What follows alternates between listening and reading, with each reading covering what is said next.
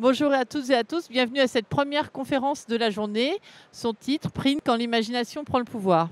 Ces dernières années, les progrès de l'impression numérique ont été tels que les fabricants, comme les distributeurs, ont pris l'habitude de dire à leurs clients que désormais la technique n'était plus une barrière pour leur créativité, que bien au contraire, la seule limite désormais c'était celle de leur imagination, à la condition néanmoins de savoir exploiter tout le potentiel de leur machine. Repousser les frontières du monde de l'impression, c'est justement le talent de nos trois invités ce matin. Deux imprimeurs expérimentés et une experte en la matière. Nous sommes très heureux d'accueillir sur le plateau du Salon C-Print Cyril Chaussard, directeur d'Artnel, une société spécialisée en PLV, et Raphaël Courteau, responsable du showroom Euromédia. Nils de Bomigny arrive, il a eu un accident sur l'autoroute, il nous rejoindra plus tard. Il va bien, je vous rassure. Alors, Print, quand l'imagination prend le pouvoir. Donc, nous allons prendre la direction pour commencer du sud de Paris, dans l'atelier de la société Artnel, que dirige Cyril Chaussard, avec son fils Arthur qui est avec nous dans la salle.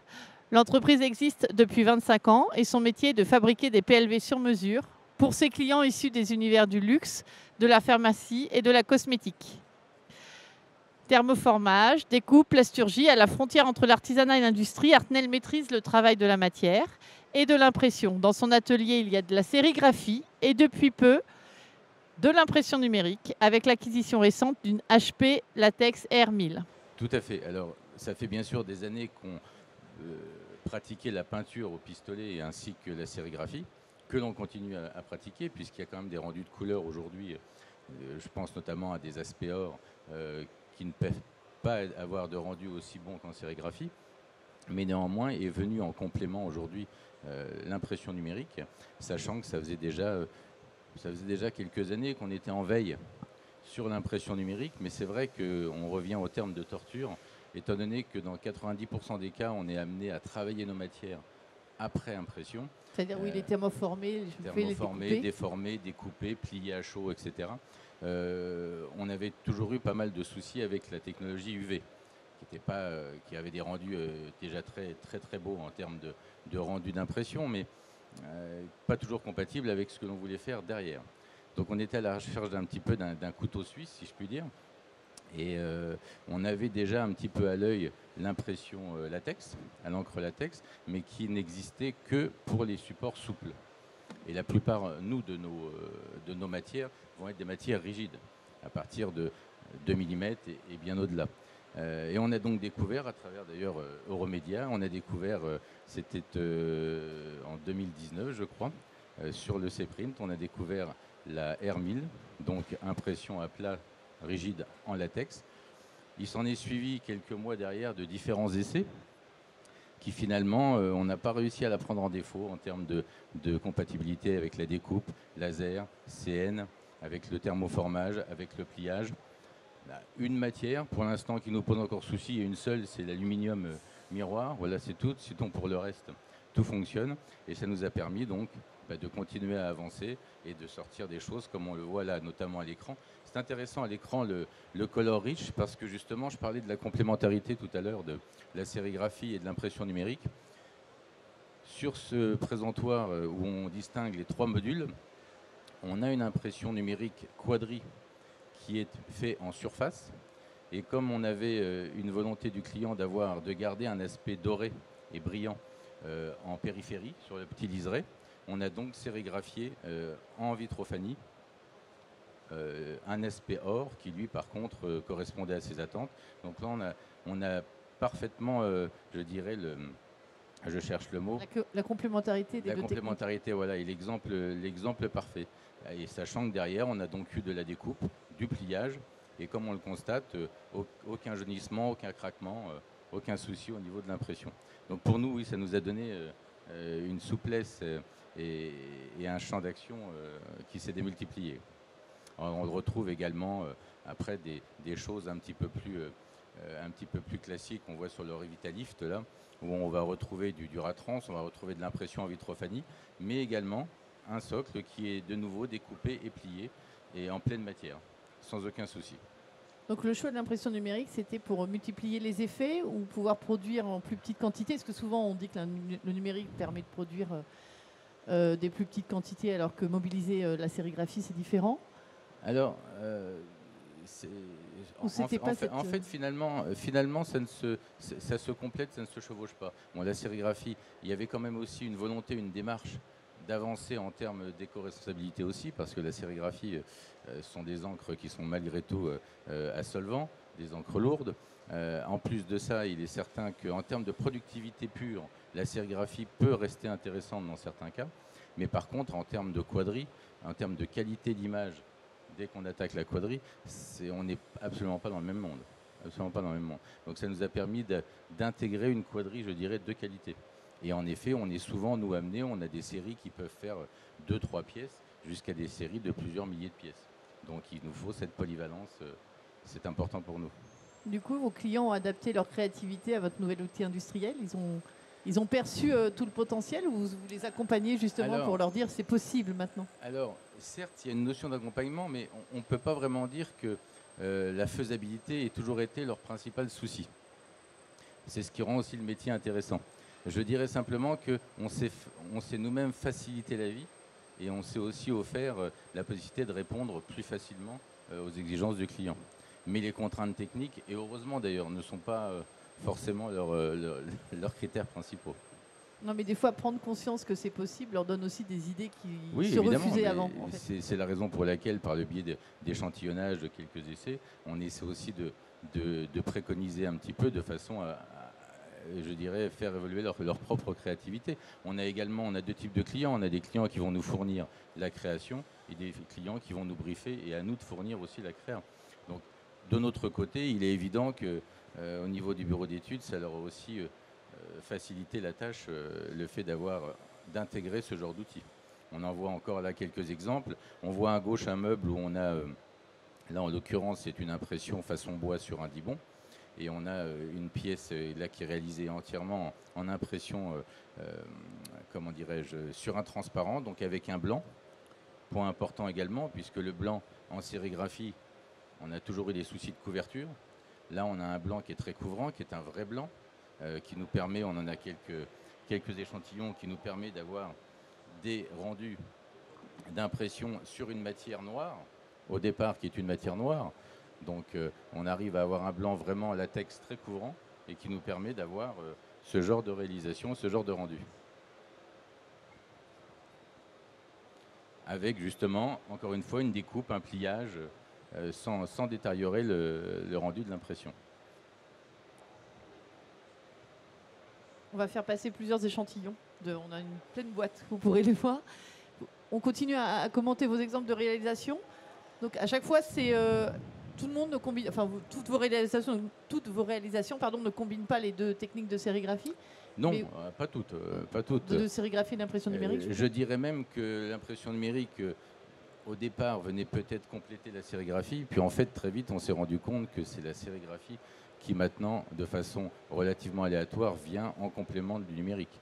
Mais la plupart des impressions sont faites aujourd'hui sur la R1000 en numérique, parce qu'on a aussi je dirais que c'est, est proche de la science exacte. C'est-à-dire qu'en termes de passe, en termes de, de gâche, euh, on est à, quasi zéro. Alors qu'en sérigraphie, vous ne pouvez pas éviter euh, de toute façon une perte de matière relativement euh, importante, même si elle reste maîtrisée pour les démarrages, les calages, ce genre de choses.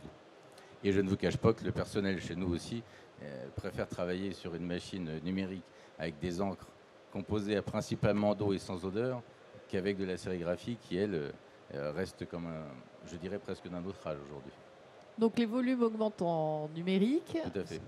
La sérigraphie complète, du coup une seule machine suffit maintenant, toujours? Pour l'instant oui, plus pour une question de place d'ailleurs. Euh, parce qu'il a fallu créer un environnement aussi pour, euh, la machine. C'était quelque chose d'important. Donc euh, pour l'instant oui, elle se suffit. Mais, mais on espère bien qu'on aura besoin d'une petite sœur tôt ou tard. Euh, vos clients, justement, donc on a parlé de la créativité qui est décuplée, la possibilité de faire beaucoup plus d'applications euh, enrichissantes, personnalisées.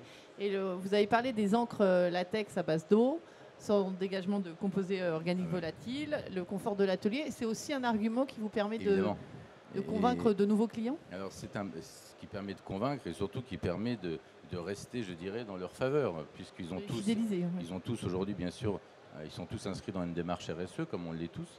Euh, donc forcément, de plus en plus, l'éco-conception fait partie intégrante de la conception dès le départ. Euh, et aujourd'hui, même, même ce qui devient très rare, même lorsque le client n'a pas une exigence particulière à ce niveau-là, on va très souvent lui proposer, nous, deux formules. Une formule totalement éco-conçue et une formule qui l'est moins, sachant qu'il est important de présenter les deux, puisque paradoxalement, mais là c'est un, long débat, euh, sur certaines matières, je pense notamment au PMMA, on a maintenant de disponibles des matières recyclables, certes, mais recyclées, de belle qualité, mais plus coûteuses que les matières euh, vierges. Donc ce qui n'est pas forcément logique, mais néanmoins c'est une réalité. Donc aujourd'hui on essaie d'optimiser la conception de façon à ce que la pièce éco-conçue ne soit pas d'un coût supérieur à une pièce qui ne le soit pas. Donc évidemment, ça rentre dans leurs critères et c'est aujourd'hui quelque chose qui euh, devient incontournable, ce qui est sûrement une bonne chose, mais qui va l'être de toute façon de plus en plus. Justement, vous parlez des matériaux. La matériothèque, avec euh, l'arrivée de la, nouvelle euh, donc HP Latex Hermil dans votre atelier, elle s'est étoffée. Vous avez intégré de nouveaux matériaux parce qu'elle peut imprimer énormément de supports différents. On va le voir tout à l'heure avec Raphaël. Bien, on a commencé notamment à intégrer le bois de plus en plus puisque la difficulté pour des gens qui ne sont pas, comme c'est notre cas, spécialistes du bois, c'est souvent le rendu final, euh, parce qu'on n'est pas euh, forcément, on n'a pas la culture, ni l'équipement, ni forcément les compétences pour pouvoir traiter le bois en termes d'aspect. Mais aujourd'hui, on prend des bois très clairs, même comme du pain, et on vient imprimer un aspect euh, veiné avec une teinte de n'importe quel type de bois, et on obtient un rendu qui est toujours euh, assez sympathique et ça nous ouvre encore une fois des possibilités qui restent pour certaines à, finaliser parce qu'on ne peut pas. C'est vrai qu'au départ, au, départ, pardon, au démarrage, euh, on a vite tendance à vouloir partir dans tous les sens parce que les possibilités sont importantes. Voilà, mais on essaie quand même de canaliser un petit peu. On en reparlera notamment pour l'anamorphose. Ce sont des choses qui, euh, aujourd'hui, grâce, grâce à l'impression numérique, sont des on peut mettre ça en œuvre beaucoup plus rapidement et facilement, mais il n'en reste pas moins que l'impression n'est pas le seul souci depuis le début sur ce genre de technique et que ça demande aussi de, prendre un minimum de temps. Alors justement, alors vous n'avez pas une boîte, mais vous nous avez emmené des échantillons. Vous avez parlé d'anamorphose. Alors je vais vous laisser nous montrer les échantillons et nous expliquer. Alors en termes déjà, en termes de déformation et de thermoformage, euh, ce, que, ce que nous a apporté l'impression numérique, pardon, c'est notamment des aspects matière. Donc on en a ici quelques, quelques exemples, notamment d'une matière transparente qui a été imprimée en vitrophanie en quadri et blanc, la matière faisant donc office de vernis et nous a permis, voilà, par exemple, de donner un aspect à cette vasque, un aspect euh, de marbre, chose que l'on n'aurait euh, pas pu réaliser, du moins pas avec une telle finesse en termes de sérigraphie. Donc là, on est sur de l'aspect matière, et je parlais d'anamorphose, que finalement euh, tout le monde connaît, mais qu'on ne sait jamais vous faire faire. Euh, voilà, c'est simplement d'avoir une impression et d'avoir une zone déformée. Donc euh, ça pose, ce genre de technique pose deux problèmes. Il y a le souci de, de, mise au point qui nécessite de multiples essais, et en cela le numérique permet en effet de multiplier les essais dans des, dans des temps et dans des délais très courts, avec des encres qui est le cas du latex, qui accède parfaitement la chauffe et la déformation. Il n'en reste pas moins qu'à côté de cela, euh, la principale avec l'impression difficulté d'anamorphose, c'est la régularité de calage, de positionnement en machine, puisque de toute façon, une fois que votre outil et votre cycle est réglé, il faut vraiment que la correspondance impression et moule soit toujours, toujours la même. Donc ça nous a permis aussi, à l'époque, euh, il y a quelques années, on pratiquait en sérigraphie avec moins de précision.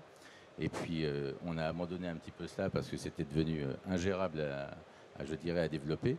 Mais l'impression numérique aujourd'hui nous permet de nouveau de retravailler euh, ce type de technique, puisque à l'époque, en sérigraphie en quadri, s'il fallait faire deux, trois essais, imaginez bien qu'il fallait refaire quatre écrans. les essais s'étalaient sur deux, trois, quatre semaines. Aujourd'hui, sous deux, trois jours, on va réussir à faire 5, 6, 7, 8 essais jusqu'à réussir à trouver un calage adéquat. Donc là encore, ça nous a rouvert une porte et on en est assez satisfait. Et du coup, là, on voit une vasque. Ça vous a amené à développer de nouvelles applications ou d'arriver sur de nouveaux marchés autre que la PLV finalement? Alors Pour l'instant, cette vasque, c'est une vasque qu'on réalise pour un client qui est simplement blanche, si je peux dire, euh, d'origine, qui est une matière opaque blanche. Mais en effet, depuis euh, qu'on lui a réalisé, cet échantillon-là, il est justement en train, de, en train d'étudier la question parce que lui, il faut qu'il trouve son décor adéquat, mais pour pouvoir sortir des séries personnalisées ou des séries limitées euh, pour ces vasques. Donc on attend et on avance. C'est un industriel de la vasque c'est, voilà, c'est un grossiste, on dira, de, la vasque, de tous les éléments sanitaires, en Belgique d'ailleurs. D'accord, mais est-ce qu'il y a des questions pour Cyril à, à, ce, moment de la conférence? Personne? Vous avez tout compris? Bon, et eh ben nous allons continuer à ouvrir la caverne d'Alibaba avec Raphaël. Donc, et en attendant euh, Nils, euh, qui va arriver euh, incessamment sous peu, j'espère. Donc, Raphaël, bonjour. bonjour. Donc, vous êtes responsable du showroom donc, de Remedia. Et dans votre mission au sein du showroom, je vais vous essayer d'abord l'expliquer et puis ensuite on dévoilera euh, tous les secrets de fabrication que vous nous avez apportés. Avec plaisir. Euh, donc bonjour à tous. Euh, donc je suis Raphaël. Donc ma mission au sein de Remedia consiste à d'abord dans un premier temps assurer les démonstrations clients bah, sur toutes les machines qu'on a dans le showroom. Également tester des matières euh, des nouvelles matières qu'on rentre au catalogue, euh, optimiser et adapter les profils d'impression également au niveau des paramètres, des réglages euh, et aussi de la colorimétrie. Et on aide et on accompagne nos clients, et notamment des nouveaux clients industriels, à passer à l'ère du numérique. Et donc, cela consiste aussi à tester des matières, parce qu'on voit que l'imprimabilité des supports n'est plus à démontrer, mais l'adapter en fonction des usages, c'est là la difficulté.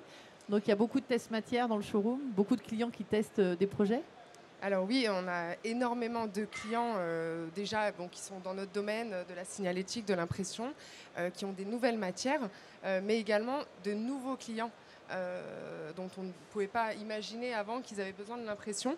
et on teste des matières voilà, qui sont à la base pas faites pour l'impression numérique et qui fonctionnent très très bien avec, avec les machines. Dans quel type de secteur par exemple? euh, on a euh, énormément de clients bah, dans l'industrie euh, plastique, également dans le cuir. voilà, on a beaucoup de clients qui souhaitent se développer sur la personnalisation, donc forcément passer au numérique et à l'impression. Donc, on va maintenant dévoiler le contenu de cette belle boîte qui a été réalisée spécialement pour ces prints. Donc euh, Raphaël nous a imprimé différents supports. Elle va les sortir au fur et à mesure. Elle va vous expliquer techniquement euh, comment ça a été conçu. Et vous allez voir qu'en fait, quand on dit que tous les supports sont imprimables, c'est possible. Et, mais elle va vous expliquer comment, puisque donc un imprimeur connaît ses matières, mais est-ce qu'il est capable d'aller jusqu'au bout? C'est ce que va nous expliquer C'est vrai qu'au-delà de l'imprimabilité des supports, euh, les machines ont énormément de réglages. et en fait, il faut maîtriser ces réglages pour avoir un beau rendu, une bonne tenue euh, sur les différents supports. Donc déjà, on a euh, premièrement ben, la boîte qui est imprimée sur la HP donc R1000, donc avec un blanc et de la quadrille donc sur du carton.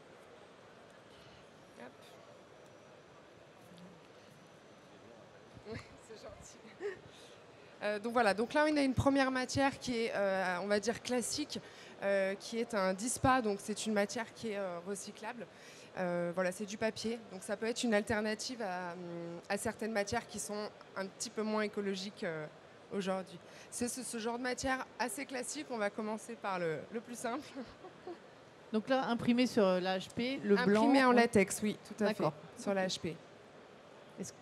On va commencer. Ensuite, on va montrer, merci. On va montrer les possibilités de la machine et notamment de créer des dégradés, des dégradés de blanc pour faire euh, bah, ses, propres, euh, ses propres dépolis par exemple, ou avoir des choses euh, bien plus personnalisées. on peut imaginer avoir le nom de la marque ou d'un magasin et de créer un dépoli avec certaines zones opaques, certaines zones beaucoup plus transparentes.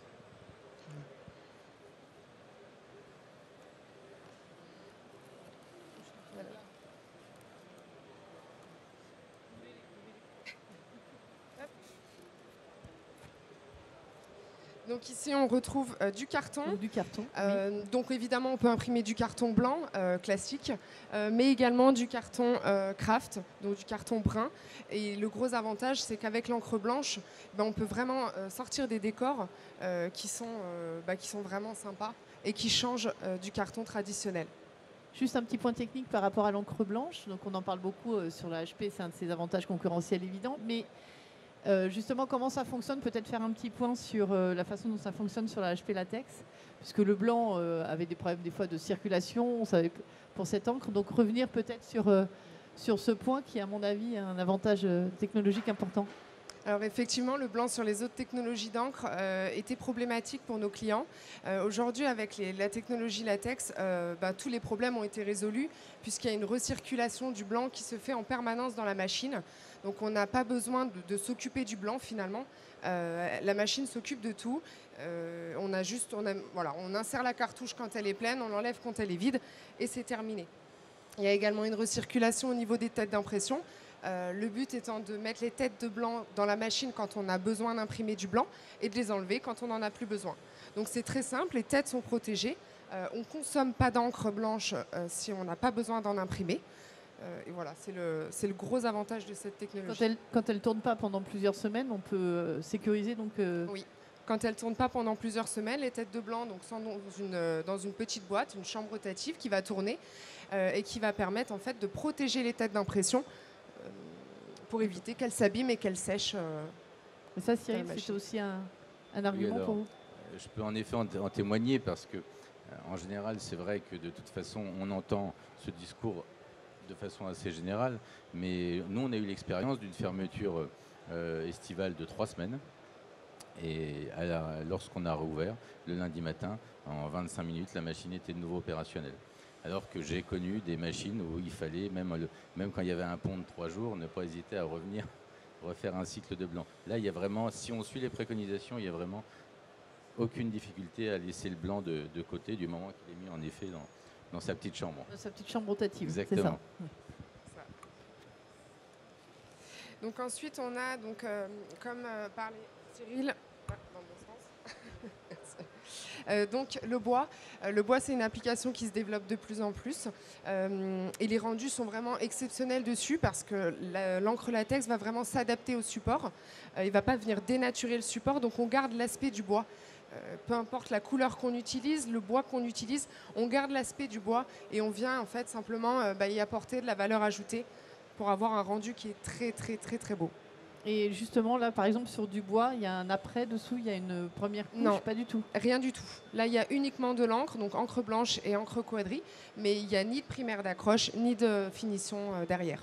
Et l'encre, euh, le bois ne boit pas l'encre. C'est un taux d'ancrage supérieur ou pas du tout? Pas du tout, c'est un, taux d'ancrage traditionnel euh, pour Donc, cette il faut machine. juste savoir que c'est possible. Ouais, Voilà. C'est possible et le rendu est très. Et voilà. en réglage, on, on est par rapport au, en épaisseur de matériaux, on va jusqu'à. Alors, les machines aujourd'hui vont, euh, en tout cas la latex, va jusqu'à 5 cm. Donc, on peut facilement passer bon, des planches de Oui. bois, mais également, on a des clients qui passent des portes directement. Euh, voilà, tout, tout est, on peut tout passer dans les machines. Moi, je, je- je passe énormément de temps à, à prendre euh, n'importe quoi euh, qui me passe, euh, une dalle de plafond, une dalle de sol. euh, voilà, un carrelage, peu importe, tout ce qui passe, j'essaye de le passer dans la machine. euh, et à 99% des fois, euh, ça donne un rendu qui est magnifique et, et ça fonctionne, ça s'imprime. Donc c'est là où est Mais Toute la valeur ajoutée. Je me permets même d'intervenir. On peut même passer de la pièce en volume. C'est-à-dire que tant qu'on a- tant qu'on ne dépasse pas les 5 cm d'épaisseur, il nous arrive nous régulièrement que des petites pièces qui, euh, en volume, ont besoin d'être imprimées, on va d'abord les mettre en forme et ensuite on va venir les marquer avec un gabarit tout simplement pour pouvoir positionner les pièces. Non, c'est assez souple.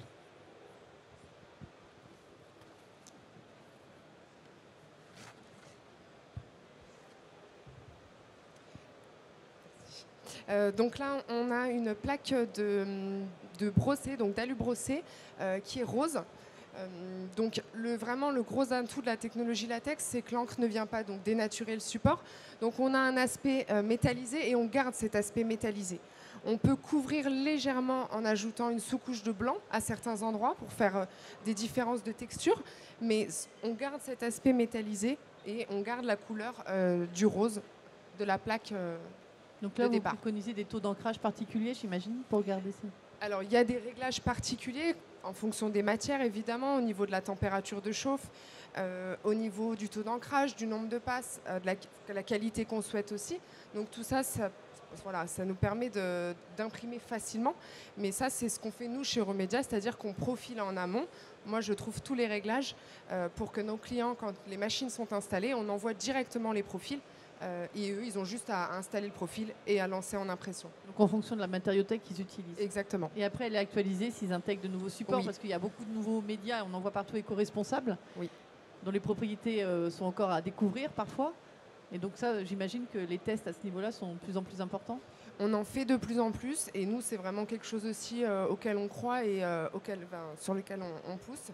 Euh, c'est qu'il y a de plus en plus de matériaux éco-responsables, écologiques, recyclables. Et nous, voilà, on travaille beaucoup là-dessus aussi et on fait beaucoup de recherches de matériaux pour pouvoir aider nos clients à proposer à leurs clients des solutions bah, plus écologiques. Puisque c'est déjà le cas de nos machines, donc on pousse encore plus avec les matières. Et justement, dans cette réflexion-là, le- je reviens, mais le taux d'ancrage, c'est important, utiliser le- la juste quantité d'encre. Oui, c'est important parce qu'il ne faut pas surancrer la matière, euh, sinon on risque d'avoir un rendu visuel qui n'est pas très beau. Euh, et il ne faut pas non plus la sous, enfin, sous-ancrer, la- le, voilà, parce que le rendu, du coup, va paraître fade, alors que la matière est imprimable et que ça peut être très joli.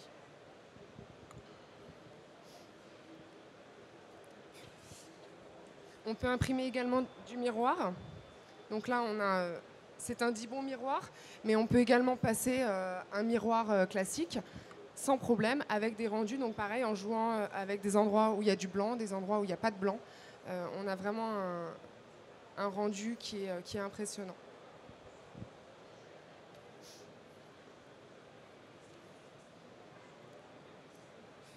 On va accueillir Nils qui arrive, parfait, en bon état.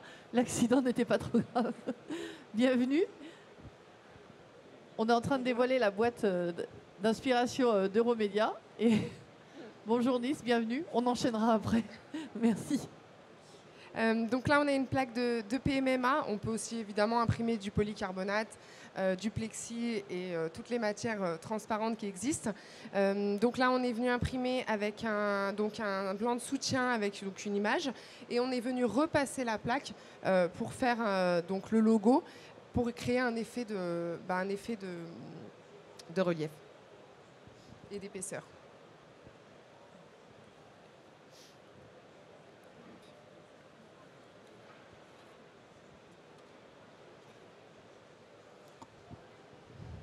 Et donc là, on a une plaque de verre. Donc euh, c'est le gros gros avantage aussi. Merci. De cette, euh, de cette technologie latex, c'est qu'on va pouvoir imprimer du verre et ça tient.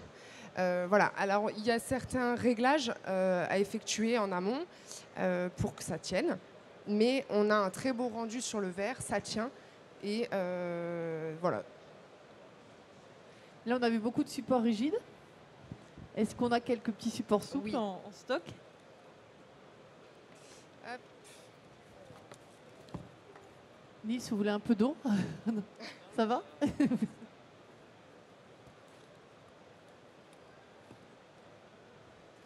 Donc, euh, dans les supports souples, euh, j'ai imprimé donc du cuir euh, synthétique. Donc, par exemple, on a énormément fait de, de meubles et de canapés, euh, bah, comme on peut voir, euh, comme on peut Comme voir mon ici. fauteuil en fait que j'ai volé au stand de Remédia pour vous montrer euh, des exemples de réalisation. Voilà, donc tout ça c'est fait en simili-cuir, euh, tous les canapés qu'on a ici. Et on a surtout, alors au-delà du rendu qui est très très beau, on a surtout une très belle résistance. Nous, on a des canapés qu'on a mis sur C-Print il y a quelques années. Ils sont toujours dans nos locaux, euh, au siège, et ils n'ont pas bougé. Alors qu'il y a énormément de gens qui se sont assis dessus euh, bah, déjà pendant le salon. Euh, mais depuis qu'on les a, on s'assoit en permanence dessus et ça n'a pas bougé. Le Ça canapé est toujours Les encres. euh, voilà, ça ne craque pas, ça ne raye pas, malgré les jeans, malgré les, voilà, les, ce qu'on peut avoir bah, sur nos pantalons. Et les, les canapés sont comme neufs encore aujourd'hui, euh, malgré, euh, malgré les années. Et là, le fauteuil, il est même euh, cousu entièrement bah, Oui. par une tapissière, c'est ça? C'est ça, oui. Nous, on s'occupe d'imprimer et on fait appel à une couturière, Mm. euh, voilà, parce qu'on n'a encore pas ce talent. Euh, et ici, vous, donc, vous avez un essai de cuir véritable. Euh, donc voilà, ça fonctionne très très bien aussi avec cette technologie. On a un très beau rendu, ça je pense que vous l'avez compris. Et également, on a une très belle étirabilité des encres. Donc on a pu le voir sur le thermoformage, mais également sur les matières souples comme le cuir, où on va avoir besoin de, devoir, on d'étirer la matière et qu'elle revienne, qu'elle se remette en place. Il ne faut pas que les encres craquent, il ne faut pas que ça dégrade l'impression. Donc on peut tirer dessus, on peut les plier, on peut voilà, et l'encre ne bougera pas. Et là, on a du volume. Et on a également une petite dernière plaque. Euh, donc c'est du liège, euh, impression directement. Alors ce liège-là, il a des propriétés acoustiques, mais on, voilà, on pourrait euh, imprimer du liège. On peut imprimer énormément de choses. Donc là, voilà, c'est un petit exemple. Sans primaire, là non plus? Sans primaire, pareil. Le tout, c'est de maîtriser sa machine, maîtriser les réglages, les paramètres, et après, les possibilités sont infinies. Merci beaucoup, Raphaël. Avec plaisir de nous avoir dévoilé tous vos secrets de fabrication. Enfin, il y en a encore beaucoup à découvrir euh, voilà. sur le stand de Remedia. Est-ce que vous avez des questions à poser à Raphaël pour euh, ces différentes applications ou Oui. Alors attendez, je vais vous amener le micro.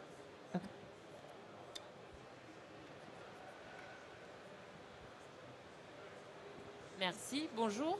Euh, je me demandais si vous avez déjà fait des essais sur des matières à gros grammage ou avec des trous comme de la toile de jute ou des choses comme ça alors oui, on a fait euh, beaucoup d'essais donc, euh, bah, sur du textile, euh, de la toile de joute effectivement. Après, donc, en tout cas pour la table à plat, il ne faut pas qu'il y ait des trous dans la matière parce qu'en fait ça va laisser passer l'encre et ça risque de donc, salir le tapis. Bon, ça, c'est pas trop un problème, mais plus boucher les ports d'aspiration. Donc il y a quand même une limite, en tout cas pour la table à plat, c'est d'avoir des trous dans la matière.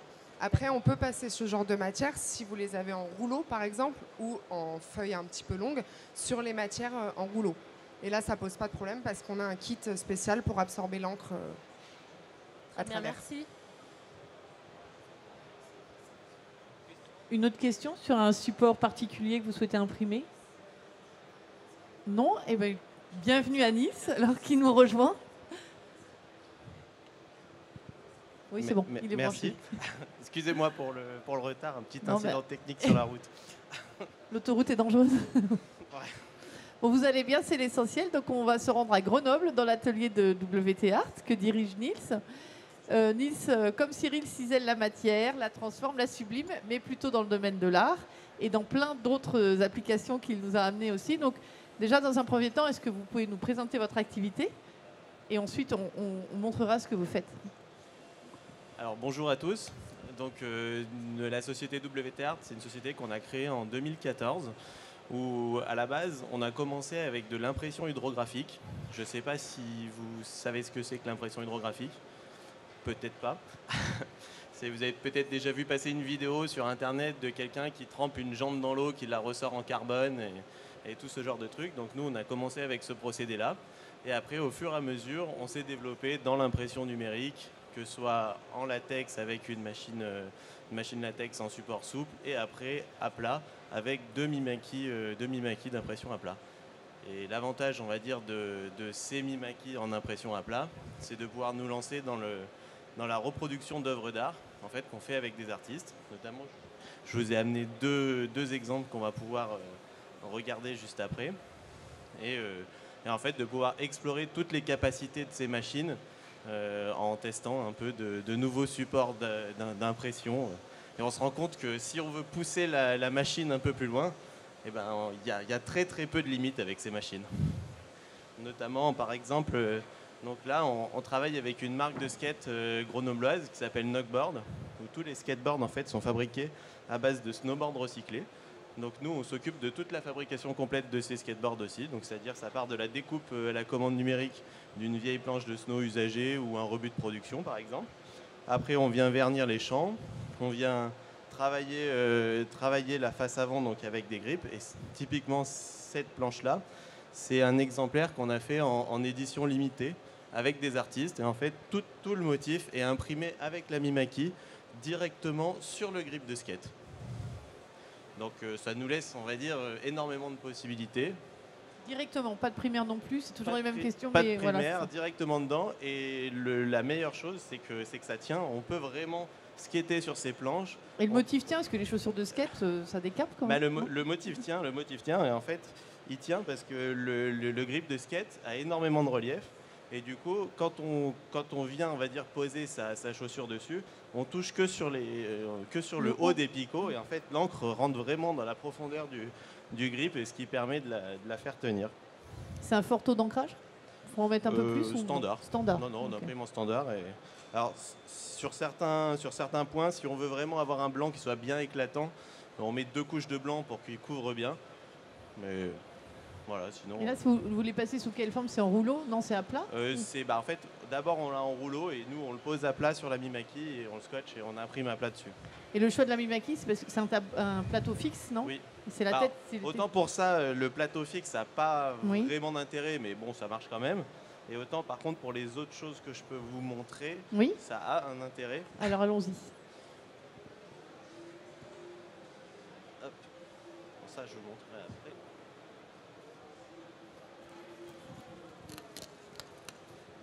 Merci.